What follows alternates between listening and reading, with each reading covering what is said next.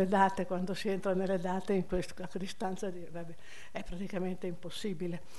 Um, perché fino al XII secolo esisteva una Grecia, voi lo sapete, la civiltà greca micenea, che conosceva una scrittura, che era la famosa scrittura lineare B, che è stata decifrata poco tempo fa, sulla metà del secolo scorso, da un giovane architetto Michael Ventris, la cui storia meriterebbe un film, secondo me, assolutamente.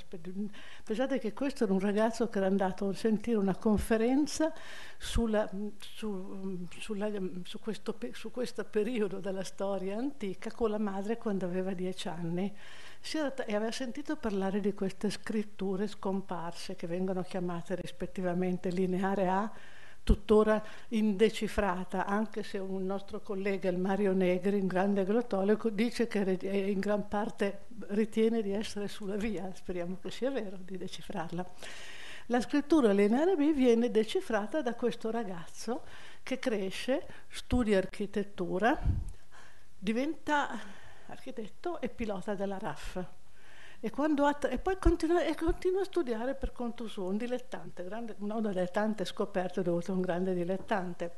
E, mm, e un bel giorno, nel 52-53, dice alla BBC che la, la, la, lingua nascosta sotto la scrittura lineare B è il greco. E naturalmente uno scandalo di tutti i grecisti, e aveva ragione lui. Allora, quindi la civiltà micenea è greca non è preletterata, anche se era una scrittura più che altro diplomatica oppure finanziaria, era, ma comunque c'era una scrittura. Cioè. Poi scompare per quattro secoli, andiamo sempre per grossi, alla nascita della polis rimane una cultura orale. E nella cultura orale chi trasmette la memoria culturale, nel senso più ampio antropologico del termine? I poeti. I poeti hanno questa funzione, questa funzione che è di trasmissione della cultura ed è allo stesso tempo un effetto pedagogico.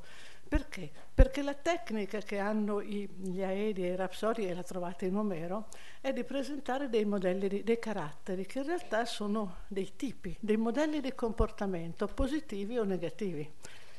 Allora, Ulisse. Ulisse è uno dei tanti eroi, ma gli eroi come sono in genere? Gli eroi, quali sono i valori dell'eroe? I valori dell'eroe sono la bie, come si chiama in Omero, la forza fisica, il coraggio, che è una virtù accessoria, um, e, e, la, ecco, e il sentimento che sta alla base di questo è il desiderio di vendetta, perché siamo in una società in cui non esiste ancora il diritto. Mm. E allora il rispetto delle regole, sociali che esistono anche se non esiste il diritto, era affidato a quella che veniva chiamata la demu femis, la voce del popolo. La voce del popolo è quella che noi chiamiamo la, la reputazione e quindi è la vergogna quello che induce a rispettare le regole. Allora quando il, poeta Omero ti racconta che appunto um, um, chi, è, chi, è, gli eroi come sono, l'eroe è Kalosca Iagazos e tra i suoi valori c'è il fatto per esempio che si vendica delle offese. Offese che poi non, non esiste un catalogo di comportamenti offensivi, perché l'offesa è relativa alla posizione di chi la fa, per cui se Tersite dice una parola è un'offesa a chiunque. E per offendere Tersite, Tersite non ha neppure la possibilità di offendersi, viceversa ad Achille basta toccarlo perché sia un attimo per cui lui deve ammazzare, ma lui è l'eroe. Ecco. E questo è il meccanismo di... E dall'altra parte ci sono appunto positivi e negativi. Allora, e qui arriviamo finalmente a Ulisse. Allora, Ulisse. Ulisse è importantissimo perché Ulisse è l'eroe che ci racconta, e possiamo crederci perché racconta la cultura, data la formazione dei poemi omerici, raccoglie quello che accade in tutti questi secoli. No? Si, ecco. um, lui unisce le virtù dell'eroe, quindi la capacità di vendicarsi, a alcune, non c'è ancora la parola, ma la giustizia di Caio non c'è la parola, c'è però l'idea che c'è qualche eroe che è giusto e Zeus fra gli dei qualche volta è giusto, di solito non lo è, fa quello che deve fare a seconda con i sentimenti di vendetta, quello che vuole. E, e nel, tra gli uomini è Ulisse. Ulisse è giusto, quindi ha valori nuovi, ha valori sia vecchi che nuovi, che li abbia vecchi è ovvio, uccide i proci quando torna, che sono ben 108 però ha anche gli altri valori, ma soprattutto ha una cosa fondamentale. Ulisse è il primo uomo che, diciamo, con Ulisse si afferma, Ulisse afferma, sente la possibilità di autodeterminarsi, cioè di non dipendere più dagli dei o dal fato, no? Pensate a Edipo che in una fase, non sempre, ma nell'Edipore quantomeno, è il fato o il destino che lo costringe, che lo induce a sposare eh, sua madre. Ma nell'Edipo a Colono, adesso mi sposto da Ulisse, dice non, so, non è colpa mia perché io non lo sapevo e quindi non sono colpevole. Ecco. Ulisse anticipa tutto questo, perché Ulisse ha per primo la coscienza di potersi autodeterminare e lo dimostra in vari episodi. Sto un po' lunga, eh? in vari episodi. Allora, uno è giusto quando è chiuso nella, nella, nella grotta del ciclope, il ciclope si, sta, si, è mangiato quattro compagni, sta per mangiare gli altri e lui vorrebbe ucciderlo, ma dice no, non l'ho fatto perché racconta, non l'ho fatto perché se lo avessi fatto non avrei più potuto levare quel masso come avrei fatto poi a uscire, sarei morto anch'io come tutti i compagni. Quindi vedete, lui non solo sente di potersi autodeterminare, ma riesce anche ad autocontrollarsi, si impone anche l'autocontrollo, che è una cosa straordinaria. Ulisse, Achille non ha alcun autocontrollo di solito, ma non vorrebbe neanche averlo, dato il tipo di eroe. E poi c'è un altro episodio molto bello, ed è quando Ulisse è tornato a Itaca. I proci non sanno ancora chi è, naturalmente, e lui è trattato malissimo. A un certo punto gli danno dei censi, gli dicono siediti, mettiti a sedere. Lui si siede e cosa vede? Vede le ancelle, alcune delle ancelle, 12, che escono dal, e vanno nelle camere dei proci, perché in sua assenza sono diventate le amanti dei proci e si augurano la buonanotte e lui le vede che ridono, che vanno e dice, ed è bellissimo perché ehm, racconta questo suo dibattito interno come se fosse una lotta fra due parti del suo corpo. Per, faccio un piccolo inciso. Per molto tempo un grandissimo studioso greco della Grecia che si chiamava Bruno Snell ha detto che l'uomo omerico non solo non era capace di autodeterminarsi, di, eh, ma non aveva neppure la consapevolezza di se stesso come un'unità, perché quando descriveva le lotte interne le descriveva come parti del corpo. Ed è quello che fa Ulisse, ma no, secondo me eh, non è così, perché eh, la ragione per cui le lotte interne sono descritte come parti del corpo sta nel fatto che la rappresentazione della Vido durava giorni e giorni. Quando sono state fatte le prove in Jugoslavia per vedere dove c'è questa tradizione, a volte andavano avanti dieci giorni questi racconti lunghissimi e quindi erano degli spettacoli proprio, parole, musica, eccetera. E, mm, e, e quindi lei doveva in, come dire, renderlo, teatralizzarla, diremmo oggi, no? E quindi, e Ulisse, che com, come descrive il suo dibattito, dice, il cuore voleva ucciderle, ma il petto comprimeva il cuore e gli diceva, sopporta cuore, eh, sopporta cuore, sopporta cuore perché se no, quindi questo qui è proprio un esempio no? tipico, del, tipico di Ulisse appunto. Ulisse è l'eroe che unisce queste due qualità e lo dimostra in modo e, e, e, fa di lui, ecco, fa di lui l'eroe che il primo che introduce, che, sì, che, esprime uh, valori etici e giuridici, che diventeranno poi giuridici, che oggi chiameremo l'etica della responsabilità Cioè Ulisse ritiene colpevole responsabile, quindi colpevole di un'azione, solo chi ha agito volontariamente. E dà una prova di questo quando, di, di avere questi due caratteri, ma soprattutto quando alla fine della, dell'Odissea uccide tutti, arriva e fa la famosa strage, 108 proci stesi uno dopo l'altro, che gli dicono, cercano qualcuno di questi e dice, ma no, io non, è, non ero, sono stato buono con Telemaco, ho trattato bene mia madre, perché poi è vero, i proci non erano tutti uguali, qualcuno era un po' meglio. Ulisse non li vuole neanche ascoltare, li ammazza uno per uno senza ascoltare. Perché? Perché è l'eroe della vendetta, cioè l'eroe degli antichi valori del mondo eroico, eccetera, eccetera. Poi contemporaneamente, insieme ai 108, uccide o fa uccidere da, da Telemaco anche suoi, alcuni dei suoi dipendenti, ma non tutti, solo quelli che lo hanno tradito. E risparmia, ne risparmia due risparmia in particolare, risparmia Femio Edo e, Riam, e, e, mm, come si chiama, adesso mi, mi, torna il nome fra un minuto, eh, il porcaio era, sì, che lo aveva, che lo aveva aiutato, sì. Um, perché, perché, e Telemaco gli dice sì è vero risparmialo perché lui ha agito ananche, ha agito per necessità quindi vuol dire costretto. Quindi costretto non sappiamo se dalla forza fisica o dalla forza psichica, non importa, ma comunque non ha agito volontariamente. Cioè guardate che in questa occasione lui, eh, Ulisse, anticipa quello che poi più tardi Gorgia dirà, quando Gorgia dirà perché Elena non è colpevole, eccetera, eccetera, non è colpevole per varie ragioni.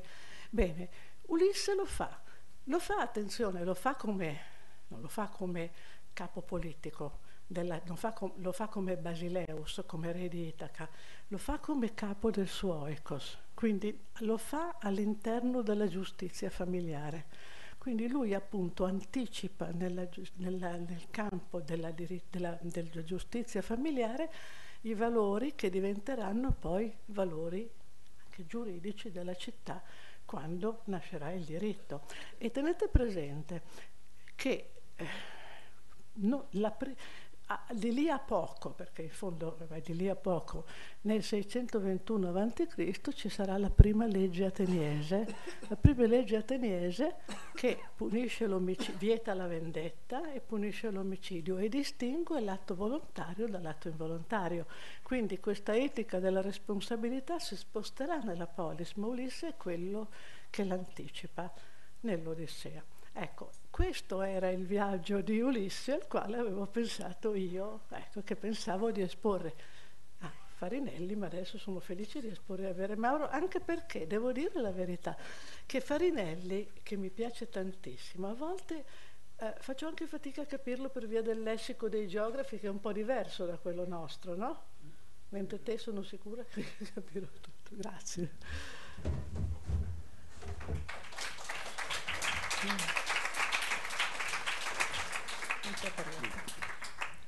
Grazie Iva. Mauro adesso. Sì. Benissimo.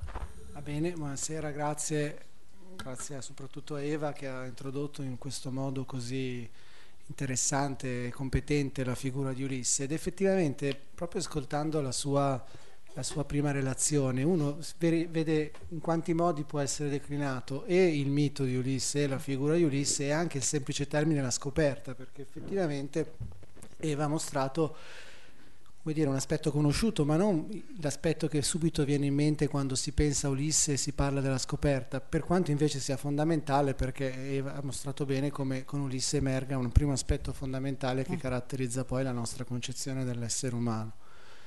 Quello che vorrei fare io è provare a riflettere diciamo, su un altro aspetto legato alla figura di Ulisse, che è quello a cui spesso si pensa, prendendo proprio spunto da quello che diceva lei, perché effettivamente la scoperta, il viaggio è un tema tipicamente associato alla figura di Ulisse, però curiosamente, e lo conferma diciamo silenziosamente la relazione che mi ha preceduto, non è un tema che troviamo così presente nell'Odissea, dove sono altre le questioni importanti. Allora, quello che volevo fare era proprio di cercare di mostrare questa, questa novità di Ulisse che è per noi rispetto al mondo antico, cercando di riflettere intorno alla domanda chi sarebbe Ulisse oggi, cosa rappresenta Ulisse oggi per noi. Perché effettivamente se noi stiamo all'Odissea di cui abbiamo parlato finora, uno può osservare che Ulisse è un eroe, no? l'eroe della vendetta, è un eroe magari non così brillante, determinato come può essere Achille, un eroe più stanco, però è pur sempre un eroe che poi al momento giusto si comporta da eroe. È un eroe che viaggia, effettivamente l'Odissea è il racconto di un viaggio, però viaggia, viaggia per tornare a casa, sostanzialmente l'Odissea è il racconto del tentativo, del lungo e faticoso tentativo che porta Odisseo a tornare finalmente nell'amata patria. Quindi è l'eroe del viaggio, l'eroe di un viaggio, però di un eroe di un viaggio verso casa. Quel, dal primo momento in cui noi lo incontriamo, nel quinto canto, Ulisse è su una roccia che piange pensando alla sua amata patria cui riesce, a cui non riesce a tornare. No? Nel canto quinto, quando per la prima volta lui, dopo i quattro canti dedicati a Telemaco, compare sulla scena. Piange su uno scoglio pensando alla patria a che non riesce a raggiungere. È l'eroe della nostalgia da un certo punto di vista è un eroe appunto di un viaggio, di un viaggio verso casa, però non è un eroe, come dire, è un aspetto importante anche questo della figura di Ulisse, però non è di nuovo l'aspetto a cui pensiamo noi quando pensiamo ad Ulisse, quando pensiamo al tema della scoperta del viaggio di Ulisse, perché per noi Ulisse è un'altra cosa. Ulisse è un eroe del viaggio, è associato sempre a questa idea del viaggio, la scoperta, però è un viaggio di un altro tipo, un viaggio della conoscenza, quello che in qualche modo è legato alla figura di Ulisse molto spesso nella discussione contemporanea, nell'immaginario moderno, è il viaggio della conoscenza. E quindi in qualche modo si osserva una differenza piuttosto netta perché effettivamente nell'Odissea, se uno guarda, Ulisse non è particolarmente interessato a conoscere, sono pochissimi episodi in cui Ulisse, come dire, viaggia per conoscere, lui vuole tornare a casa con calma, perché poi ci sono dei momenti in cui, dire, ad esempio quando incontra Circe dice si sta lì un anno, che si sta bene, anche se potrebbe già partire, con Calipso deve stare sette anni e non è colpa sua, mentre con Circe uno poteva dire, e i suoi compagni glielo dicono, beh cosa aspettiamo, tornare, vabbè adesso c'è tempo, però appunto non è che vuole conoscere, si ferma due volte, curiosamente, due volte la curiosità emerge nell'Odissea, ma solo due volte. Uno è il canto delle sirene, ma lì deve parlare perché Tirese gli ha detto che lui deve sentire le sirene in qualche modo. Eh, Quindi, certo. E la seconda volta, invece più interessante, è affascinato dal canto, quando entra, nel, come parlava già prima Eva velocemente, quando entra nella caverna di Polifemo, lì è attratto, c'è qualcosa di oscuro lì dentro che lo attrae, cioè vuole conoscere, cioè, come dire, tutto nella caverna mostra che è un posto pericoloso, che bisogna andare il prima possibile via da quel posto perché possono solo andare male le cose. I compagni glielo dicono e Odisseo invece dice no, vuole stare lì, vuole capire, vuole conoscere, è affascinato. E praticamente però l'unica volta in cui lui nell'Odissea vuole conoscere e è determinato a conoscere. Per noi invece Ulisse è l'eroe della conoscenza. Da dove nasce questa novità? La risposta è scontata, è il modello dantesco è l'Ulisse del ventiseiesimo canto dell'inferno, che in qualche modo si è sovrapposto nel nostro immaginario alla figura omerica, ah. nel senso che c'è la figura omerica che ci permette di vedere alcuni problemi fondamentali, la responsabilità, la vendetta, l'affiorare di una prima nozione di giustizia, e invece c'è l'Ulisse dantesco che porta sulla scena altri temi, ad esempio il problema della conoscenza, ed è un modello così potente per noi, ma non soltanto per noi italiani, che in qualche modo da questo momento in poi eh, determinerà l'immagine di Odisseo, di Ulisse per noi. Eh, ad esempio molto spesso, esempio ci sono dei versi famosi di Tasso, Colombo, Cristoforo Colombo, tutti quelli che scoprono il mondo nuovo sono dei novelli Ulisse Poco tempo fa è stata lanciata una nave nello spazio per andare a scoprire il Sole, naturalmente senza troppa fantasia l'hanno chiamato Ulisse. Cioè è sempre come dire, tutte le volte che c'è un legame con un viaggio e la conoscenza, puntualmente il nome che viene usato, il riferimento che viene pensato da Cristoforo Colombo ai viaggi interstellari è la figura di Ulisse. Allora questo è il punto, diciamo, questa è la scoperta e il significato del viaggio di cui mi vorrei occupare io, perché in qualche modo ci fa vedere ancora una volta eh, la lunga vita dei miti che la lunga vita dei miti è una vita che poi come dire, si declina in modi differenti a dei, a differ- con dei contesti in cui si trova a essere utilizzato.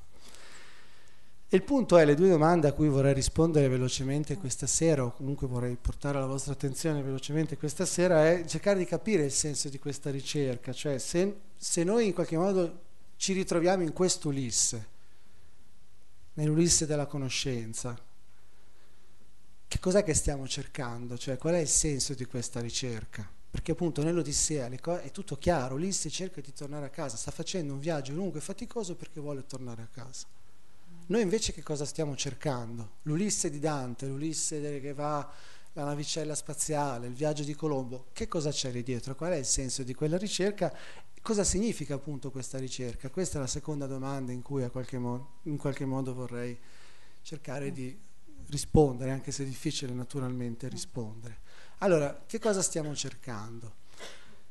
Partiamo da alcuni versi, mi ero preso qua perché appunto per non sbagliare le citazioni di Dante, che sono cose che gettano l'ignominia permanente su chi lo fa, volevo partire, come dire, prend- sono versi famosissimi, eh?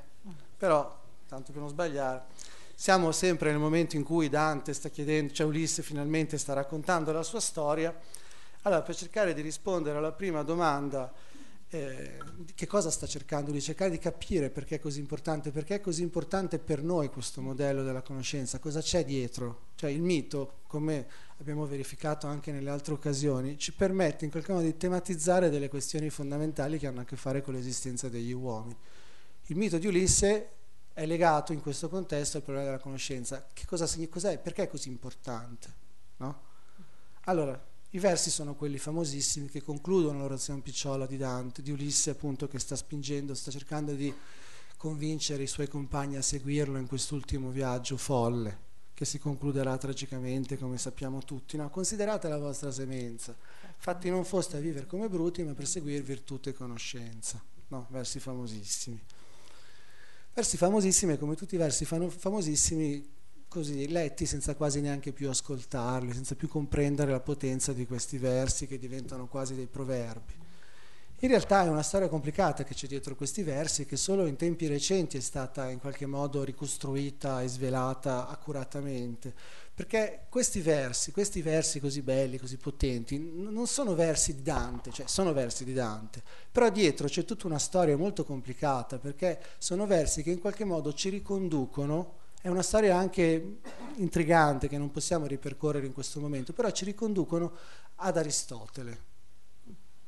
Attraverso tutta una storia, cioè il, secolo di Dante, il secolo della scolastica, del trionfo di una filosofia che in qualche modo vuole riportare sulla scena Aristotele, è un, un, tentativo drammatico da molti punti di vista, perché riportare sulla scena Aristotele vuol dire in qualche modo rischiare di confondere il cristianesimo con la filosofia greca. Il problema è reso ancora, sono sempre gli stessi problemi, è reso ancora più acuto dal fatto che il grande commentatore di Aristotele è un arabo, Averroè, che torna a essere letto e che rende il testo di Aristotele finalmente comprensibile, svelando delle cose che risultano difficilmente compatibili con, il, con la tradizione cristiana. Quindi c'è un contesto drammatico è il contesto del canto decimo dell'inferno in cui si litiga sulla figura di Cavalcanti, ci sono filosofi che moriranno durante queste battaglie, molti verranno scomunicati, cioè è una storia veramente appassionante quella, però appunto tutto ci riconduce in ultima istanza ad Aristotele, perché que- tra l'altro letteralmente, perché poi è stato dimostrato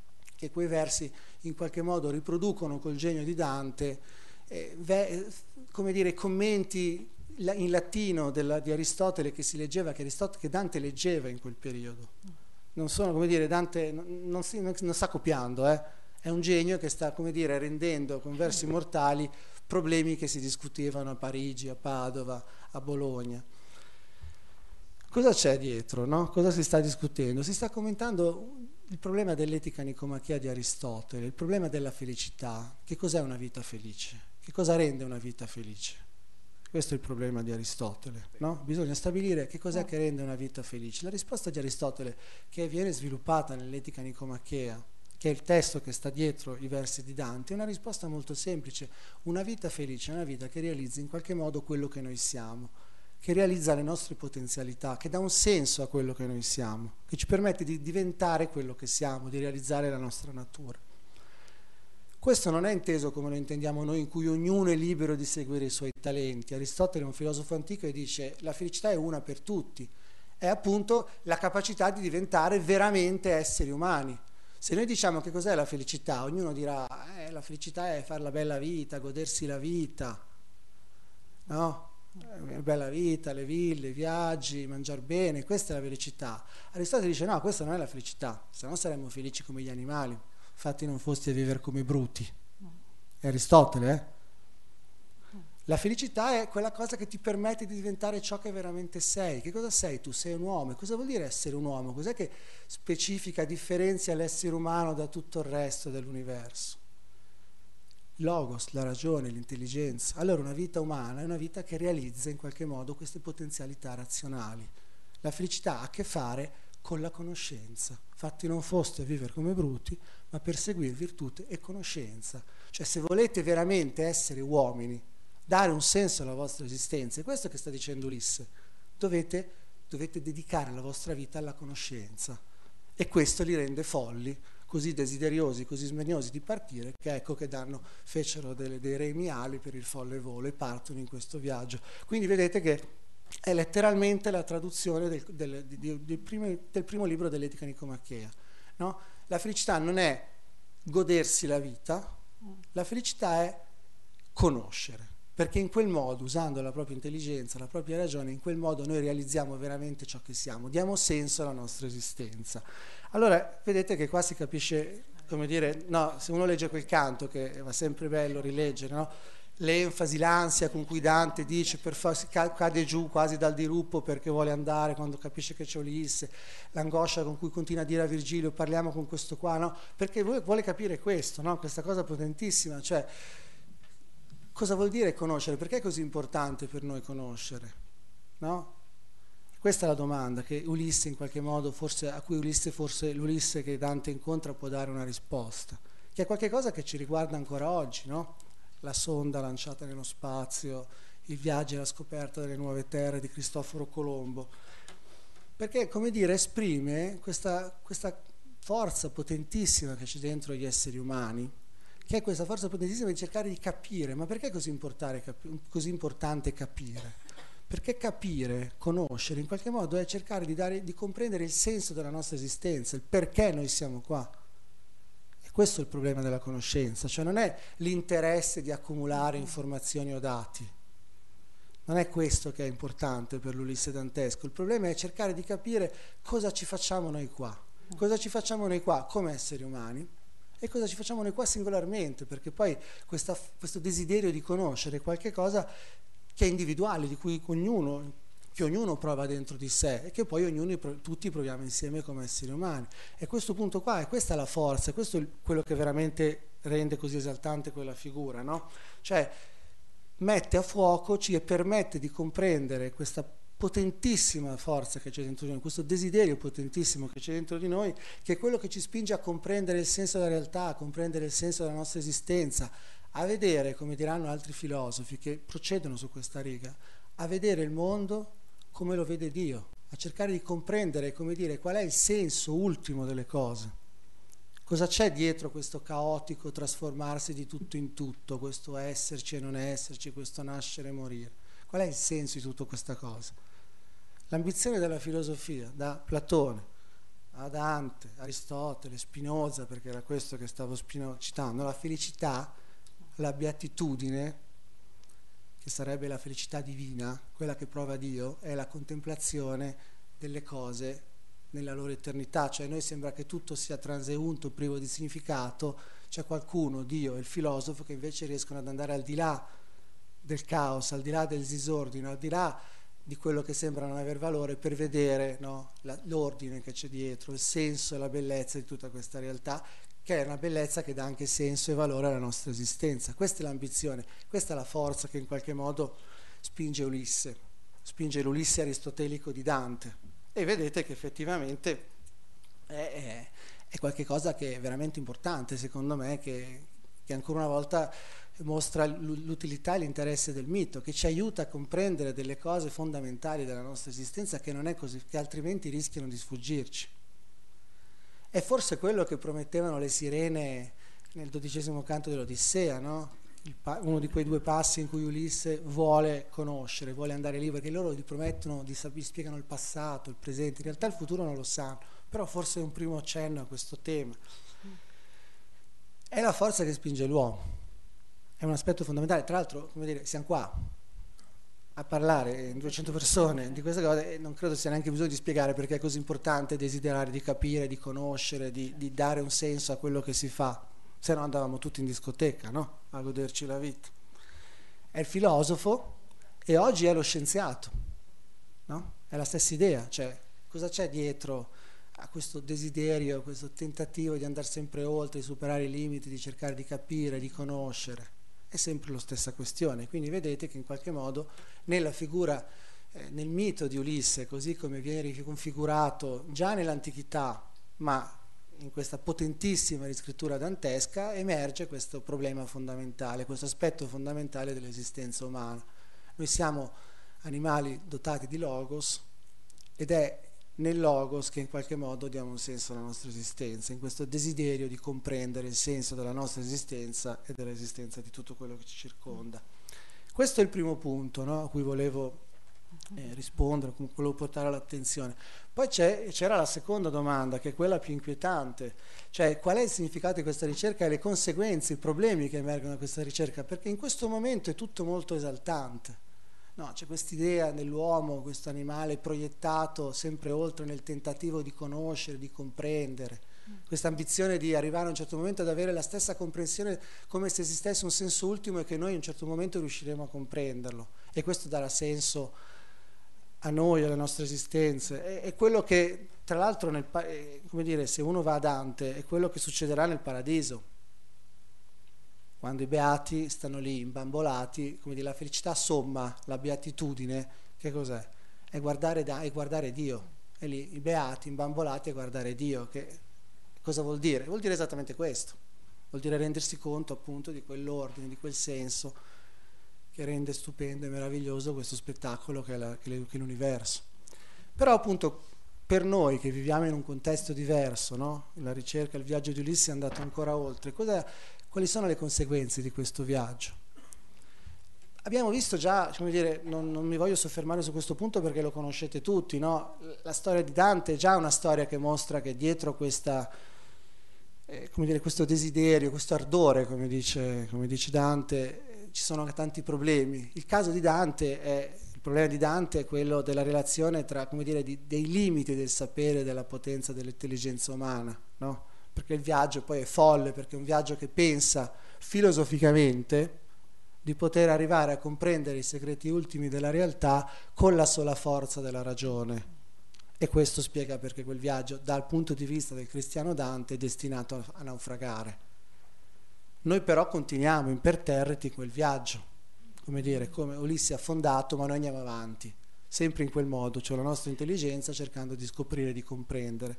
Però il problema vero non è tanto questo, quella è la storia appassionante per cui Dante romperà con Cavalcanti, per cui c'era un filosofo che morirà, diciamo, per circostanze oscure in quel contesto, per cui altri filosofi saranno scomunicati, perché influenzati da Verroè dicevano, beh, però la filosofia forse ci può permettere di comprendere le cose, cioè forse la nostra intelligenza ci può permettere di comprendere, di conoscere già in questo mondo senza bisogno della grazia. La beatitudine, come dice Spinoza, è qualcosa che io posso raggiungere già qui e ora, non ho bisogno di andare in paradiso. Però questo è un problema, come dire, interessante, ma non è il nostro problema. Cioè è un nostro problema, ma non è il problema più importante. Perché voglio rileggere un altro verso altri versi altrettanto importanti, altrettanto celebri del, del viaggio, no? Se ritrovo però. Dante Ulisse vuole convincere, no? Sono tornati, vogliono partire di nuovo né dolcezza di figlio, né la pietà del, qua, del vecchio padre, né il debito amore lo qual dovea per far liete, vincer poteron dentro a me l'ardore che io ebbi di diventir del mondo esperto e delle vizie del valore. Ma misi per l'altro mare aperto, eccetera, eccetera. Cioè, vedete, il desiderio di conoscere sovrasta tutto. In questo senso Ulisse è veramente il prototipo, l'archetipo del filosofo, dello scienziato che dedica tutta la sua esistenza alla conoscenza per quelle ragioni che dicevo prima. Però vedete qual è il problema? Che molto spesso non si osserva in questi versi. Questo desiderio, che è un desiderio radicato dentro di noi e che esprime la nostra grandezza, è un desiderio problematico, perché è un desiderio che comporta delle conseguenze, delle scelte. O viaggia, o si dedica alla conoscenza, oppure si dedica agli altri esseri umani, la moglie, il figlio, il padre, cioè Ulisse deve scegliere e non ha esitazioni perché dice è così forte l'ardore di conoscere, di diventare esperto, che io ho deciso di partire. Però partire ha un significato. Questo non c'è nell'Odissea ancora una volta, perché è vero che nell'Odissea si dice alla fine che lui deve partire perché sennò Poseidone sarà sempre arrabbiato. Però qui vedete, lui deve dire No, il desiderio di conoscere qualcosa di così forte che mette in secondo piano tutto il resto. Ma che cos'è tutto il resto? Tutto il resto è il mondo degli uomini. La famiglia, la città e un re. Lui rinuncia a tutto l'Ulisse dantesco per conoscere. I greci avevano due definizioni dell'essere umano. Una era l'uomo è un animale razionale, l'altro è l'uomo è un animale politico. Noi pensiamo che siano due definizioni facilmente sovrapponibili. Il caso di Dante, il caso dell'Ulisse dantesco, ci mostra che non è così, perché il desiderio di conoscere non necessariamente è compatibile col desiderio, come dire, con l'attenzione che noi dobbiamo prestare agli altri esseri umani. E questo è un problema gigantesco.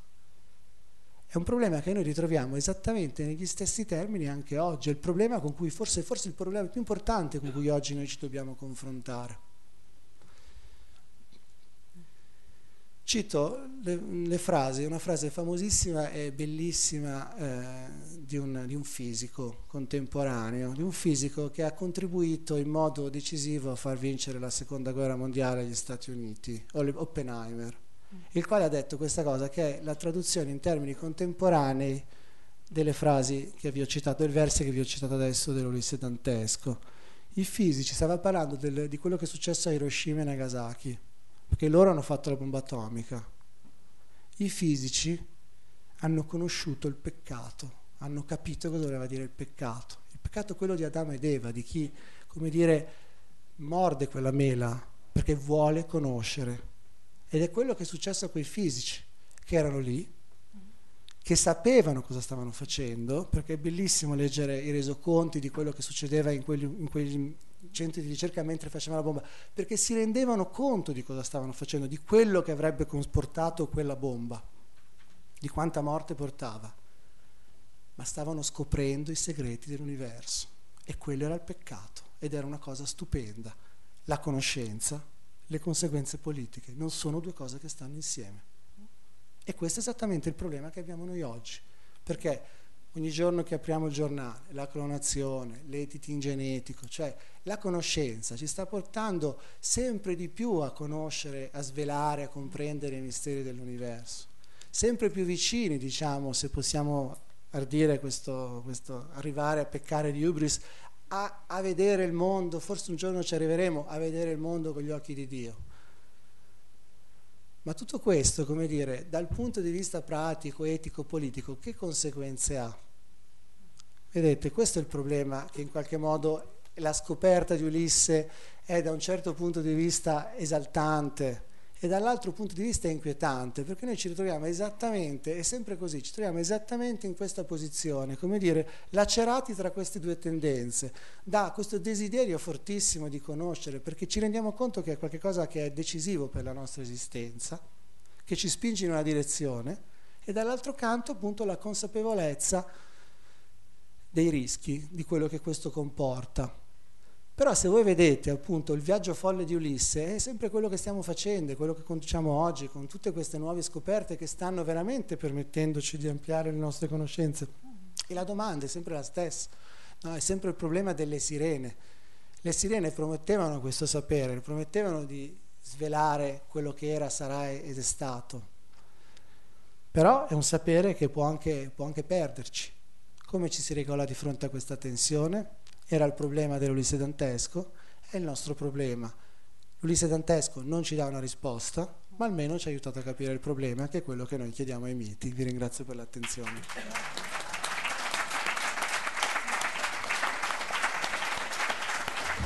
Bravo Mauro. puoi riprendermi? Sì, sì, certo. Io direi grazie, grazie Mauro. Direi che Iva vuol ritornare, se non ho capito No, male. Vuoi riprendere sul delle domande. Ah, delle beh, vediamo, allora poi se c'è un modo, poi dopo No, no, no, interlochiamo anche facevo tu. solo segno Vai, così per dire Procedi tu. subito con le sì, domande se io sì. No hai detto Mauro hai detto, delle, eh, ma, ha detto delle cose bellissime e importantissime Mauro come fa sempre e, mh, io- mi sono venute in mente tantissime cose mentre, mentre lui parlava me le sono segnate qui adesso un po' confusamente una riguarda il primo discorso che ha fatto prima la prima parte ricondurre tutto ad Aristofane, perché è così, è così si ritorna a lui. E la cosa che mi ha colpito è questo, ehm, la preeminenza del logos, no? La Aristotele, la preeminenza.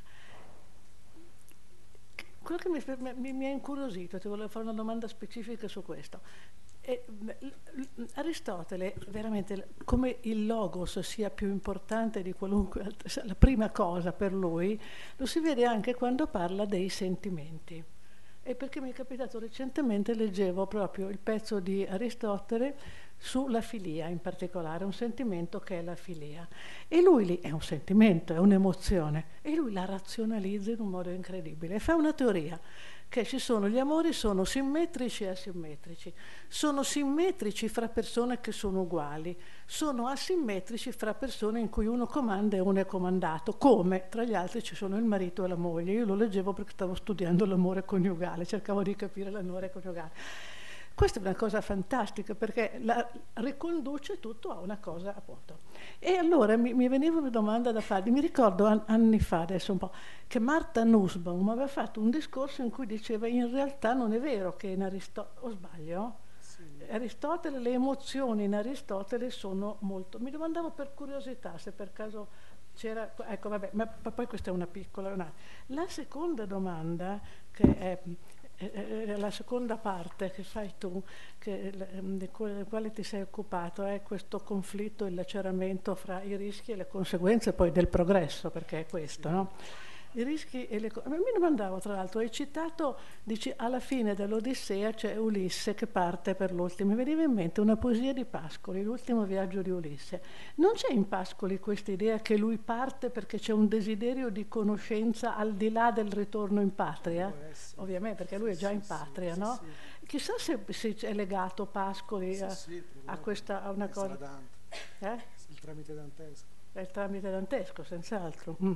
E, mm, e no, e- e- e quest'altra cosa che eh, la- la- la- il problema, hai ragione, no? qui non è una domanda, ma sono rimasta colpita come sei arrivato a descrivere la situazione nella quale ci troviamo oggi, il problema tra quello che sta facendo, esempio, la clonazione, abbiamo- hanno clonato due scimmie, le cose un po' così, è che volevo dirti che sei stato fantastico. Volevo rispondere, grazie, no, ma è troppo gentile. Cioè, effettivamente volevo app- approfittare di questa cosa per, per precisare un punto importante. Ehm, eh, sì, il tema è quello del progresso, naturalmente, perché la scoperta è in qualche modo il progresso. Cioè, quello che mostra il, tema ancora più interessante è che in un modello come quello dantesco-aristotelico, la speranza di ricomporre le due, le due due, dire, due elementi che io ho presentato come distinti c'è perché in un mondo in cui esiste Dio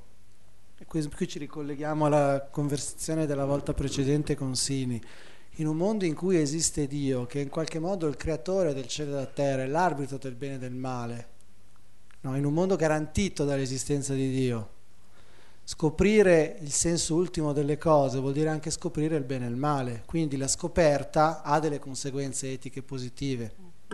Non so se mi spiego, cioè nel momento in cui, come dire, in un mondo dantesco l'uomo è al centro dell'universo, creato da Dio per ammirare questo spettacolo meraviglioso, nel momento in cui riesce ad andare al di là del caotico mutarsi delle cose e si rende conto di questo spettacolo, di questo immenso spettacolo meraviglioso che lo circonda, che è fonte del bene, a questo punto la scoperta, la conoscenza produce qualcosa di positivo, è- ha delle indicazioni concrete. Ancora una volta il modello filosofico aristotelico e platonico, conosci l'idea del bene per sapere cosa devi fare, no? se riesci a vedere le idee saprai cosa devi fare, saprai cosa è bene e cosa è male. in un contesto teologico è se capisci cos'è Dio, saprai cos'è bene e cos'è male. Noi viviamo in un mondo, però, come dire, fa, eh, cito così perché è famoso l'aneddoto della morte di Dio, in cui Dio non è morto. Cosa vuol dire? Quell'aneddoto famosissimo che racconta Nietzsche nella Gaia Scienza, no? L'uomo che va in giro cercando Dio e tutti dicono ma Dio è morto. A cosa si sta facendo riferimento? Si sta facendo riferimento alla, alla rivoluzione scientifica. La rivoluzione scientifica ha reso Dio inutile da un punto di vista della spiegazione dell'universo, non ci serve più l'ipotesi di Dio per spiegare l'universo. Infatti nessuno di noi, in America forse, ma noi qua, nessuno di noi quando fa l'ora di scienza, di fisica o di cosmologia studia Dio. Si studiano le leggi che hanno prodotto il Big Bang e tutto quello che sta succedendo e l'universo non è più quel bellissimo universo che era meraviglioso, se voi vedete studiate Aristotele o la Divina Commedia, questo universo perfetto, meraviglioso, sferico, che era l'universo di Dante. L'universo è questo universo che noi studiamo, che noi conosciamo. Qual è il suo senso, il suo ordine, la sua bellezza? No? È quello che racconta la morte di Dio. Dio, noi ridiamo, dicono gli interlocutori della Neve, quando il pazzo va in giro, la gente ride, sì, lo sappiamo che Dio è morto, come dire, chi è che ci fa più in chiesa? E lui dice, eh, è vero, non avete ancora capito qual è il problema. Il problema non è questo, il problema è che se è morto il Dio creatore del cielo e della terra, non c'è più neanche l'arbitro del bene e del male. Chi deciderà cosa è bene e male adesso? La conoscenza il bene e il male non stanno più insieme.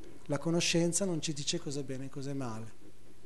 Siamo noi che dobbiamo deciderlo, però vedete questo è il problema. Il problema, appunto mi premeva sottolineare questo aspetto, il problema è oggi così importante perché c'è questa tendenza, come dire, a chiedere alla scienza quello che la scienza non ci può dare, cioè la scienza in qualche modo in certe discussioni pubbliche è diventato il sostituto di Dio.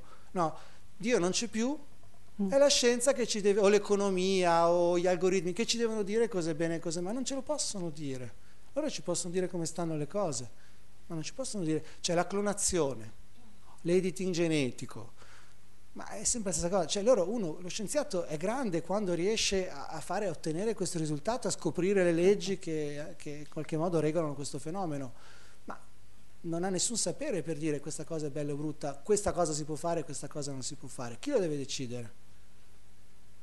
Il problema è sempre lo stesso nel, nel dibattito nostro, nel nostro mondo, è che in qualche modo noi ci troviamo questo peso, dobbiamo, dire, dovremmo renderci conto che il peso delle scelte, delle decisioni ricade solo su di noi. E come diceva Nietzsche, non è mica una scelta, non è una scoperta piacevole questa, è una scoperta pesantissima, con cui non possiamo fare a meno di confrontarci, anche se molto spesso in realtà eh, ce ne dimentichiamo e speriamo che qualcuno, l'economia, eh, la matematica, ci dicano cosa bisogna fare. Ma Eva, ancora no, non voglio aggiungere? togliere tempo alla discussione, dopo, faccio una domandina subito. da aggiungere a quella del pubblico, se fai tempo. E, e, come risol- affrontano questo problema eh, i teologi? Eh, dopo, dopo, dopo. Teologi contemporanei. Contemporanei, sì. Eh, no, quando confesso la mia ignoranza in materia, però secondo me, eh, come dire, è il grande problema della modernità, è che, perché una cosa buffa, diciamo, io di teologi non parlo molto perché non li conosco molto, però una cosa interessante è che i filosofi non si occupano più di Dio. Non, non, è, è, un peccato perché, come dire, dietro Dio il problema non è essere credenti o no, che pure è una cosa fondamentale, il problema è capire cosa ha significato Dio per duemila anni, ha significato queste cose, questa idea della realtà, dell'essere umano. Continuare, come dire, a capire, infatti poi lo andiamo sempre a cercare in posti sbagliati, questo è un punto importante che dovrebbe renderci più consapevoli per trovare come dire, delle risposte. La mia risposta è molto banalmente è che siccome la risposta non ce l'ha da più nessuno di cosa è bene e cosa è male, dovremmo deciderlo noi. E questo sarebbe la politica. Purtroppo, dicevamo prima con Ferruccio, non è il periodo ideale per parlare della politica, però la politica non è chi vince le elezioni, la politica è chi decide quali sono i valori su cui si fonda una comunità. Cose bene e cose male. La morte, la vita, eh, chi lo decide? Certo, raccogliere un po' di domande. Prego. Maurizio col microfono, dove non vedo Maurizio col microfono. Se no vieni qui allora intanto poi usi questo. Maurizio, ci sei? Ecco, prego. Là, là, davanti. Lì innanzitutto. Grazie, buonasera. Allora, io domandavo, senza scomodare Dio, no? Ma se ehm, la ricerca filosofica si discosta dal guardare l'essere umano per intero, dove si trova questo spazio? Nel senso che anche lei prima ha detto eh, che eh, il filosofo equivale allo scienziato però lo scienziato si occupa di una parte di conoscenza stabile, ma l'essere umano è anche più di, qua, di questa parte di conoscenza. Eh, io approdo adesso alla filosofia dove invece ho un largo periodo di ricerca interiore di cui assolutamente non si può parlare perché solo la scienza, solo che, quello che è scientifico, ok va bene, stando in ciò che è scientifico va bene, ma se la filosofia si pone sullo stesso, mh, sullo stesso piano Uh, della scienza dovrebbe essere una sua figlia, ok? Invece si pone proprio sullo, sullo stesso piano. Dov'è questo spazio? E poi rispetto alla teologia, la teologia è comunque una struttura, ok? Però il viaggio parte, dovrebbe almeno partire interiormente. Il viaggio di Dante parte, secondo me, da qualcosa di cui proprio non si parla più ed è proprio questa paura di guardare nel profondo, di guardare proprio il viaggio di Dante parte di fatto dall'inferno, ok?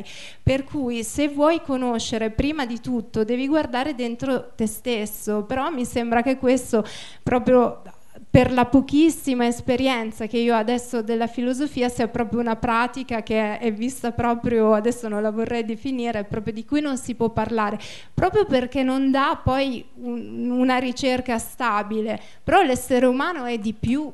E quindi, professore, scusi, se non la troviamo all'interno, cioè se non lo fate voi, chi è che, cioè, chi è che ci deve garantire quello spazio? Dov'è che si deve andare?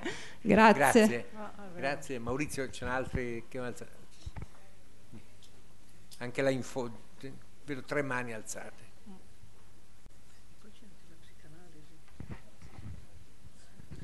Io volevo chiedere se è un caso o invece è un'intenzione ben chiara eh, indicare con Ulisse il protagonista del, del romanzo di Joyce, dove la dove la conoscenza, comunque il tema della conoscenza, comunque direi eh, è presente.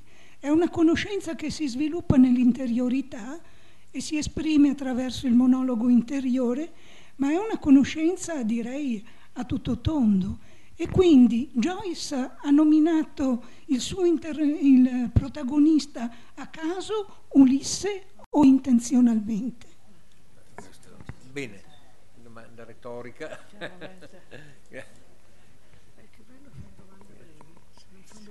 sì, allora, io mi scuso se volevo fare una domanda un pochino più eh, tecnica forse, nel senso che eh, ehm, lei ha indicato eh, l'Ulisse di eh, Omero come l'eroe soprattutto della eh, diciamo, della capacità di eh, controllo, della eh, capacità eh, di giustizia e soltanto in pochi casi come eroe della conoscenza in senso stretto. Questo è appunto l'Ulisse di Dante sul modello aristotelico. Ora, quello che... Omerico, Omerico voleva dire. Ulisse della conoscenza, quello dantesco, e l'altro... Sì. Hai sì, fatto sì. un... Eh, ah, ah, ah, vabbè, sì, ci siamo capiti. Capiva, scambiato una parola ah, con l'altra. Ah, vabbè, ci siamo capiti. E, ecco, io volevo eh, chiedere eh, se può indicare, diciamo, un rapporto mh, preciso fra i eh, due eh, aspetti. Cioè, eh, chiaramente mh, non penso che Dante abbia preso questo tipo di eh, mito eh, per sbaglio, per caso, insomma, appunto, in che termini, diciamo, le eh, due cose sono comunque collegabili e, perché c'è stato questa sorta, diciamo così, di equivoco, se vogliamo, di interpretazione molto parziale. Grazie. Grazie. C'è un'altra, ho visto un'altra domanda là in fondo. Altri due. No, però preferisci rispondere subito? Oh, aspetta un attimo, facciamo un attimo di pausa, dopo riprendiamo Eh, con eh, le risposte. La- in questa qua poi l'ultima era un po' legata a tutte e due, cioè diciamo il- credo che Eva abbia mostrato in modo, ma nei suoi libri, nei suoi numerosi studi, come questo tema della conoscenza manchi, cioè non che manchi, però non sia dominante, mentre noi molto spesso associamo quando decidono di chiamare la navicella spaziale Ulysses, non è che pensano a- a- all'Odissea o dell'Odissea, pensano proprio al modello che si- la- fa vedere anche la potenza di Dante quanto è stata capace di imporsi. Poi chiaramente c'è un collegamento perché prima Eva ricordava quei versi finali in cui Ulisse dice che deve partire che danno l'idea. Se uno vuole il collegamento è molto semplice, c'è appunto da un lato questo, cioè è una reinterpretazione. Que- Quest'idea che fa diventare il tema della conoscenza così importante è una reinterpretazione che viene sviluppata nel corso dell'antichità di carattere filosofico dell'Odissea. Quindi uno, ad esempio, un- la prima testimonianza che mi viene in mente la trovate in un passo di Cicerone, il quale dice che le sirene rappresentano appunto il tema della conoscenza perché Ulisse è un filosofo. È una linea legata, Cicerone è un filosofo, sta parlando di Platone, del platonismo, che è appunto Platone Aristotele, poi si ritrova appunto nella tradizione dei commenti all'etica nicomachea e salta fuori con Averroè e a quel punto scoppia la bomba atomica a Parigi perché Averroè dice va bene, i filosofi sono quelli che pensano che con la ragione si possa arrivare a comprendere il senso ultimo delle cose. Quello che poi Spinoza dirà la felicità è la contemplazione del Dio, della realtà sub specie eternitatis, cioè come la vede Dio. Questa roba per Aristotele è quasi banale, la filosofia è questo. Al tempo di Dante viene condannata come eretica, perché vuol dire che non serve più Dio, non serve più la grazia. Quindi è una storia, filo- è un tentativo appunto filosofico. Non so se No, no, per- perfetto, hai risposto anche meglio di me. perché è difficile. Allora, Questa parte su Cicerone, per esempio. Sono le altre due domande. Eh, allora, questo mi permette di rispondere anche alla prima domanda, perché voi vedete, cioè, la filosofia e la scienza, che cosa ci permettono di comprendere? Allora, la filosofia è una disciplina, mentre la scienza è una disciplina che ha dei confini abbastanza chiari, esperienza, indagine razionale, la filosofia è molto più sfumata, perché la filosofia è tutto il contrario di tutto, no? i filosofi brillano per questa capacità di usare le parole come meglio gli aggrada, però diciamo, se noi teniamo per buono questo collegamento che io ho fatto, che Aristotele avrebbe condiviso tra la filosofia e la scienza, in qualche modo c'è un legame. Il legame è che la filosofia prima e la scienza dopo, in qualche modo sono convinte che l'uomo possa, con la forza della sua ragione, della sua intelligenza, in qualche modo svelare, fare luce sui misteri della realtà. È capace, non è capace? La sua obiezione è la stessa obiezione che in un altro contesto veniva fatta a Dante. Cioè, è, è vero che la ragione è in grado di rendere conto di tutto, e questa è l'ambizione dei filosofi, sposo, o della scienza. I cristiani, la tradizione, il vescovo Tempier che condanna tutte queste tesi come eretiche nel 200.277, pochi anni prima di Dante, dice no, perché l'uomo non può conoscere con la ragione, no? se no non c'era bisogno che partorisse Maria, il purgatorio di Dante, canto se state contenti, umane genti al quia, al che è così perché il perché non lo potete capire. Filosofi vogliono capire perché. Oggi è lo stesso problema, Eva prima molto giustamente il problema della psicanalisi, cioè è sempre lo stesso, cioè eh, eh, quanta luce riesce a fare la nostra ragione? L'ambizione della scienza, della filosofia in questo senso è tanta luce, o comunque l'unica luce possibile. Poi c'è tutta un'altra tradizione ugualmente legittima che dice che no, che non è vero, che le emozioni, eh, la fol- cioè ci sono tutta una serie di esperienze che noi derubrichiamo perché non sono espressione della nostra razionalità, che invece ci permettono di vedere degli aspetti della realtà nostra e delle cose che la ragione non riesce a cogliere. È il solito problema, no? Vedete, quello che è interessante vedere è che cambiano i contesti, ma sono gli stessi problemi. Rispondo velocemente, però eh, penso che il punto era questo, no? Cioè, il problema è sempre lo stesso. E l'ultima domanda, il riferimento a Joyce è interessantissimo, però è, è vero che cioè, lì c'è un passo bellissimo di Platone nella Repubblica, nel mito di Er, nel decimo libro della Repubblica. Ulisse decide di reincarnarsi, cioè si parla delle varie anime che scelgono la nuova, vite, la nuova vita. E la cosa, il colpo di genio di Platone è che Ulisse sceglie di reincarnarsi una persona tranquilla, che fa una vita banale, ordinata, non vuole più viaggiare, che è l'Ulisses di Joyce che è come dire uno che fa la sua vita, un impiegato di banca, non mi ricordo cosa fosse, una persona assolutamente minore, anonima di una città non importante, come dire basta tutte quelle esperienze. In qualche modo è anche quello un tipo di esperienza diverso. È vero che la conoscenza è importante, però forse lì, che è un'altra tradizione che, viene, che, che sviluppa quel tema, e non è tanto il tema della conoscenza come questo tentativo che ricollega Ulisse piuttosto a Prometeo, che abbiamo parlato l'altra volta, no? l'uomo che vuole diventare, comprendere tutto. È più la saggezza, no? a un certo punto si accetta di vivere, il mito è anche questo, no? questo eterno ripetersi identico delle cose. Mentre noi, come dire, non so se mi spiego, uno lo vede con due immagini geometriche, cioè l'Ulisse dantesco è un Ulisse che va in, in linea retta, va sempre avanti. Invece il mito è anche un racconto no? Di cui tutto si ripete uguale, in cui quella giornata, nella sua verità, è una giornata che si ripete eternamente uguale a se stesso e conduce effettivamente a un'altra conoscenza perché il finale bellissimo, sì, sì e dissi sì, è anche quella un'accettazione della vita, però di un altro tipo di conoscenza, ancora una volta che permette di vedere quanto sia complicato e ricca le, le risposte. Bene, continuiamo con... Prego, prego. Sì. Eh, io avrei una curiosità. Eh, volevo sapere se c'è qualcuno eh, che ha raccontato qualche passo che ha raccontato cosa succede a Odisseo dopo la strage dei proci, perché mi sembra di ricordare che fosse stata fatta a porte chiuse proprio per paura di un, una eventuale vendetta proprio del... So che molti proci venivano da fuori, ma proprio eh, dei parenti sì. dei proci locali e anche della servitù. E... Però, però, il racconto di quello che succede dopo non lo abbiamo. Infatti, non... eh, ok, no, io, io la mia curiosità era non sapere se c'è qualche passo che racconta del dopo. Eh, eh, di... No, purtroppo non abbiamo passi che raccontano del dopo, no? Peccato, sarebbe stato bello. infatti, infatti era una curiosità proprio perché. sì. Grazie. Grazie. Beh. Sì, un secondo signora.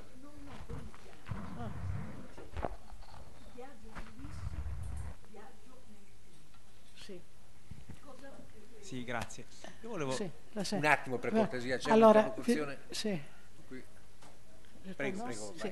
Beh, volevo dire questo, volevo dire che mh, mm, leggendo l'Odissea attraverso il personaggio di Ulisse, noi riusciamo a ricostruire eh, la, il cambiamento di mentalità della cultura, una trasformazione della cultura greca in alcuni secoli che sono quelli raccontati dagli Aedi che confluiscono lì. Quindi leggendo l'Odissea noi riusciamo a seguire tutto questo percorso. E, il passaggio dal mondo della vendetta al mondo del diritto praticamente. In questo senso, io sinteticamente, il passaggio, da, il passaggio in un mondo nel quale l'atimè il valore, la reputazione è dovuto al fatto, a un certo punto c'è persino, ci sono, c'è um, Penelope che, ecco, anche nel, questo um, è nell'Iliade, eh, non è nell'Odissea ma è lo stesso, poi ci sono vari fasi, eh, Elena che dice a Paride, ma tu sei un bell'imbusto, non sei neanche capace di, di vendicarti, perché un eroe si deve vendicare, e lo stesso c'è nell'Odissea. Penelope gli dice, lo dicono continuamente a Telemaco, non sei come tuo padre perché no, ecco, se no un eroe si deve vendicare. Eh, e invece... Eh, non, non, non, lei ha fatto molto bene a dire una cosa giustissima. Non solo, ma c'è purtroppo una rivalutazione della vendetta. E, allora, una, una rivalutazione. Una, le dico anche dove. Io sono rimasta molto impressionata perché eh, mi trovavo negli Stati Uniti a insegnare al momento in cui c'erano alcuni processi importantissimi sulla pena di morte. E i miei studenti eh, erano a favore della pena di morte. Eh, ecco, e vogliono vedere, e io dicevo, ma è orribile questa cosa dei genitori che vogliono assistere all'esecuzione al, eh, del, del, condannato per stupro, quando c'è la penna, e loro dicevano, ma questo è giusto perché bisogna vendicare, è una cosa spaventosa. E questo rito adesso c'è stato, ci sono state anche delle sentenze della Suprema Corte, è nata una questione perché eh, le parenti delle vittime in America hanno chiesto il permesso di nella fase del processo, che è diviso in due fasi in America penale, processo criminale, prima dici se uno è colpevole, poi decidi la pena mh? Mm, davanti alla giuria che è composta da cittadini normali. No? Mm. Allora, eh, i parenti delle vittime hanno chiesto di poter parlare anche loro nella fase del sentencing phase e posso di fare i cosiddetti victim perché si chiamano victim impact statements, dire qual è stata la conseguenza del crimine sulla loro famiglia. In un primo momento la Corte Suprema ha detto no, poi la composizione è cambiata e il ter- solito terribile Antonino Scalia, che è uno, eh, e adesso purtroppo è cambiata ancora tutta sempre più in quel senso grazie a Trump, e in un primo momento la Corte ha detto che non erano ammissibili e invece poi ha cambiato e ha deciso che erano ammissibili perché era giusto consentire. E allora, nei, durante i processi americani, io ne avevo alcuni registrati, ci sono questi parenti delle vittime che esprimono, quello è un, addirittura è un animale, è una bestia, deve essere punito a vita in una cella senza più farlo uscire perché bisogna... Una cosa spaventosa e c'è un grande dibattito ancora e in America ci sono molti che sostengono che questi victim impact statement sono giusti, quindi sostengo il ritorno della... Cioè la confusione della giustizia con la vendetta, è spaventoso, sì. Maurizio, prego. Ci sono, sì, sì, sì. Io ho una domanda, non mi è chiaro il passaggio storico dall'Ulisse omerico, quindi nostalgico di casa, a quello dantesco, cioè Dante, l'Ulisse della conoscenza, da chi l'ha preso? Era già presente in Aristotele o non prima. c'era? Sì, era quello che dicevo prima, cioè a un certo momento eh, nell'antichità si sviluppa un'interpretazione filosofica di Ulisse che vede in Ulisse una specie di eroe della conoscenza dando, enfatizzando passaggi come quello delle sirene che fanno vedere appunto eh, come dire, come questo aspetto importante della figura che vuole conoscere. Questo poi è finalizzato a un problema interessante, che è quello che dicevo prima, poi questa idea eh, si unisce perché poi, come dire, scoprire vuol dire scoprire chi sei, scoprire la tua natura divina, ricongiungerti con Dio, perché eravamo in un mondo in cui Dio non era ancora morto, per così dire, per riferirmi a quello che dicevo prima, e questo si sviluppa poi in tutta l'epoca imperiale arriva ai filosofi arabi e poi dagli arabi ritorna in Europa e questo produce gli sconquassi del XIII. Quindi è una storia che noi possiamo tracciare in alcuni passaggi. Il tema interessante poi, che è un tema che abbiamo discusso anche un'altra volta qua con Eva, è che questa cosa viene fatta perché a un certo punto si vuole tenere insieme Omero e Platone. Si vuole costruire, un, questo è interessante anche per noi che facciamo sempre riferimento alla, alle radici greche, eh, le radici greche, Platone Omero l'avrebbe sbattuto fuori da tutti i posti, invece a un certo momento si vuole costruire un'identità greca contro i romani, contro l'Oriente, così e cosa si fa? Si devono tenere insieme quei due. E quindi si trasforma Orisse, Omero, quello che Platone come dire, avrebbe ben mandato fuori da tutte le sue città, no, nell'eroe filosofico, quindi è una storia anche interessante che fa vedere che la Grecia, come quella volta abbiamo parlato qua con Eva, è molto più complicata. Quando noi ci rifacciamo alla Grecia, insomma, è un riferimento complicato perché non esiste la Grecia. Eh, c'è un altro, prego. Sì, buongiorno. È una considerazione mh, che può apparire un pochino provocatoria, ma sulla quale mi piacerebbe riflettere. Eh, di fronte a quello che avete detto, molto interessante, eh, mi chiedo se eh, non sarebbe il caso di eh, riflettere sulla figura dell'Enea Virgiliano, l'Enea, dell'Eneide per l'appunto, che eh, riprende cioè riprende determinati elementi eh, omerici, anche lui ha il senso della vendetta, ma ne eh, riprende anche il tema del viaggio, un viaggio però non per tornare a casa ma per scoprire un nuovo mondo. Eh, riprende, cioè riprende, sì, ha il concetto di giustizia, ha il concetto di pietà, conosce il bene e il male, è illuminato con, cioè, attraverso il dolore quando muore il giovane pallante o quando vede e descrive determinate situazioni. Ecco, trovo che sarebbe un personaggio eh, degno di eh, di un'analisi approfondita proprio nel solco di quello che avete detto. Grazie, molto Grazie. C'è un'altra domanda qui davanti, anzi addirittura due, vediamo le ultime due, tre addirittura. Meriterebbe Vorrei... un incontro a parte, ragione. Sì, perché quello di Enea adesso ci ha portato davvero in un campo. Sentiamo la signora, la signora che sì, prego signore, te, microfono, al microfono lì. Molto, mi sembra molto importante invece ritornare un pochino all'autodeterminazione, no? Sembra fondamentale, perché è il primo passo della, della razionalità che si afferma sulla vita dell'est, degli istinti. Mm, mi sembra interessante anche, oltre all'era della conoscenza, anche il primo uomo che sente appunto, come ha detto, la possibilità di autodeterminarsi. Mi sembra che abbia detto questo, no? Inizialmente lei ha parlato di Ulisse sì. Come il primo uomo che sente in sé la possibilità certo. di autodeterminarsi. Sì, dice. Mi sembra, sembra molto importante. A me sembra un aspetto molto importante di Ulisse, assolutamente, perché è veramente la prima volta che c'è questa idea, perché è stata soprattutto combattuta moltissimo dai grecisti. Eh?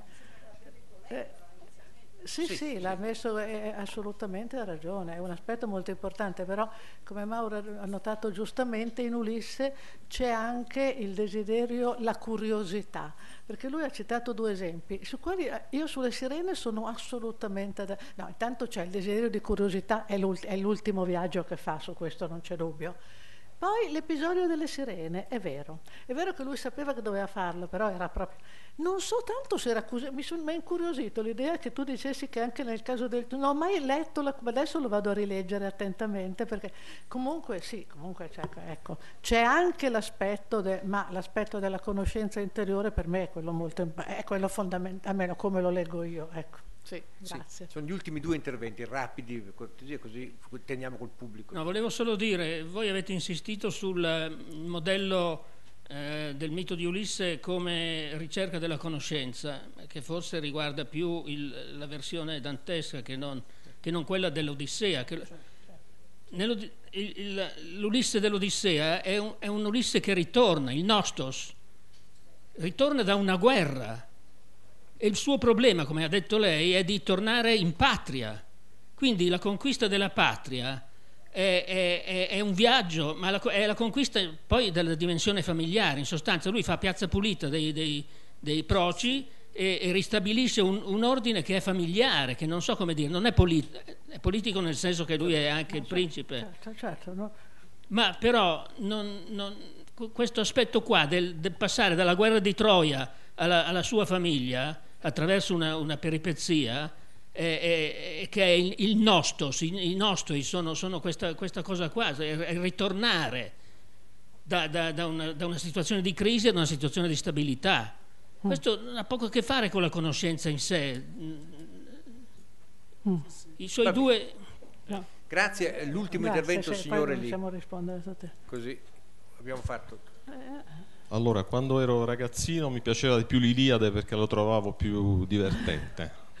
Però ovviamente l'Odissea è molto superiore e, e, secondo me Ulisse è il primo eroe veramente umano della certo, letteratura mondiale, umano nel senso che è, poliedrico, ha molti sentimenti. E credo che questo, quando il, il Signore gli diceva, ma noi che, lui che cosa cercava nel suo viaggio? Cercava queste cose, cercava sé, cercava il sé. Sì, sì soprattutto. Sì, sì, lui certo. rifiuta l'immortalità perché gli viene offerta a un certo punto l'immortalità, certo, la rifiuta. Certo, Vuole tornare da sua moglie, eppure aveva a disposizione donne bellissime naturalmente. Eh, quindi fa delle scelte, fa delle scelte molto, molto, molto umane, così come forse farà la scelta di tornare a viaggiare dopo essere tornato nel suo letto di ulivo, sì, eccetera, eccetera. E poi volevo fare una domanda proprio a lei, perché il verso dantesco è fatti non foste a vivere come brutti, ma per seguire virtute e conoscenza, non solo conoscenza. Va bene. Allora, lì proprio, eh, piccola spiegazione tecnica, la virtù, lì ancora una volta il riferimento è aristotelico. Aristotele dice che l'uomo, la virtù vuol dire in, in greco, l'arete, come spiegato tante volte a Eva nei suoi lavori, è fare bene, una, è una capacità prestazionale, è fare bene qualche cosa come noi possiamo dire un virtuoso del violino oppure Maradona un virtuoso no, no Aristotele dice quindi la felicità è una vita secondo virtù. Le virtù umane sono tante, bisogna l'indagine dell'etica è di capire quali sono le virtù Ah, e e in qualche modo qual è la virtù più importante, cioè la cosa, l'eccellenza più importante. Se lei si legge l'etica Nicomachea, lui fa questa analisi delle virtù e dice ci sono le virtù famose di, di etiche, quelle che hanno a che fare col giusto mezzo, il comportamento, la generosità, l'amicizia, tutte queste robe qua. E poi ci sono le virtù dell'intelligenza, quelle che lui chiama dianoetiche, della ragione, vuol dire essere bravo a ragionare, essere bravo a fare un calcolo. E poi dice appunto se dobbiamo scegliere qual è quella veramente importante, quelle dell'intelligenza. Allora lì il problema è, è- è- eh beh, adesso l'ho detto male, ma le assicuro che non è così leggero, ragionate Aristotele. A questo punto il verso dantesco lo può leggere in due modi, cioè virtute, cioè conoscenza, o virtù e conoscenza. Sono due interpretazioni possibili, ma lo sfondo dietro di quel dibattito, quello che si stava facendo a Parigi in quegli anni, cioè nelle scuole di filosofia, Tommaso, Boezio di Dacia, esattamente su questo problema, cioè la relazione tra le virtù etiche, cioè il comportamento, e la conoscenza. Sì, ma non cambiava il problema. Sì, No, eh, il problema ce l'abbiamo adesso. sì, no? adesso ce l'abbiamo molto di più, ma ce l'avevano già in qualche modo anche loro, perché lei pensi al monaco, perché una terza figura che è stata associata al filosofo e allo scienziato è il monaco. Cosa fa il monaco? Il monaco de- dedica la sua esistenza alla conoscenza e alla preghiera di Dio. E il mondo degli uomini non ha più importanza, è sempre lo stesso problema, è un altro modo di affrontare lo stesso tema. Cioè la conoscenza, cercare di comprendere il senso ultimo delle cose in un modo diverso, non è più la ricerca scientifica, è la preghiera, è la ricerca No, interiore. la ricerca scientifica è una banalità. Sì, è una banalità comunque tecnologica. Sono, volevo, cioè, sono d'accordo con lei che eh, era un problema, io volevo solo far capire il problema, e poi era un problema quasi di esegesi dantesca. Virtù, cioè conoscenza, o virtù è esattamente lo stesso problema che trovate nei dibattiti su Aristotele.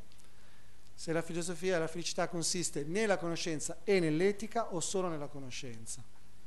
Bene. Per me, l'ultima, cosa- scusa, sulla prima cosa, un tema che abbiamo lasciato fuori perché noi quello che vogliamo fare con i miti, quello che dobbiamo fare con i miti è è come dire, seguire la storia dei miti, perché i miti sono sempre diversi, è questo che li rende così Certo. interessanti. Effettivamente Eva sul tema della responsabilità, io sul tema della conoscenza abbiamo lasciato fuori un aspetto che nell'Odissea è molto bello, che è l'umanità di Ali, l'intelligenza, l'intelligenza pratica, Metis, eh, che, certo. che effettivamente è un altro tema che forse poi arriva fino al Joyce, all'Ulysses di Joyce. Quindi, come dire, quello che vogliamo fare noi qua in 40 minuti è aprire delle strade. I viaggi Non sono vorrei essere potranno coprire, però è fatto bene a sollevarlo perché è un tema bellissimo. Eva, no, è che non- una battuta no, no. tua per chiudere. Una battuta no, ma per chiudere niente, che se- volevo dire ehm, che Ulisse sia l'uomo nuovo, c'era già detto, ce l'hanno detto Horkheimer Adorno a suo tempo, no? è il primo uomo moderno, è, il primo- è una- solamente una battuta sul fatto del rit- è vero che lui vuole tornare a casa e che quindi tutta la sua è sul piano personale e familiare, ma non solo, perché io il suo viaggio lo vedo anche leggo anche un valore politico nell'anticipazione, nella giustizia familiare della giustizia cittadina. Quindi, ecco, un pochino mi sembra questa la, la cosa da dire per difendere, per difendere Ulisse. Non è una chiesa dire solo che voleva tornare a casa, ma non è solo quello, però, non vuole solo tornare a casa, certamente. Bene, grazie Eva, grazie Mauro, grazie a tutti.